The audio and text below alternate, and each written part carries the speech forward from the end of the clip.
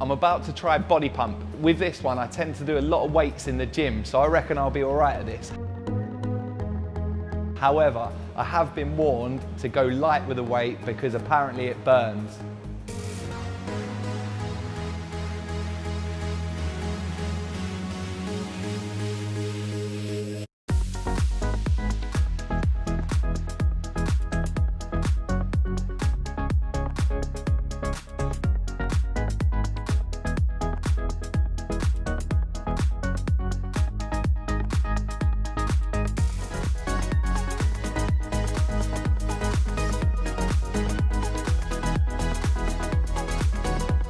I think the class will bring a lot of benefits because it was a full body workout. I was using all of my muscles and key areas like your back as well. I think it would be quite a good one for.